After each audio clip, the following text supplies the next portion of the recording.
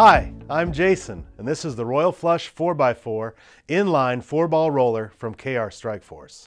This top-of-the-line bag with premium features holds four bowling balls, three in the ball compartment and one on top. It is made from only the best 1680D ballistic fabric. It's KR Armor. It comes with dual 5-inch Smooth Kruze urethane wheels with steel ball bearings for ultimate balance and a quiet ride. The Royal Flush 4x4 includes two large accessory pockets and an extra large shoe compartment which can easily hold up to size 15 shoes and much more. This gives a bowler tons of storage.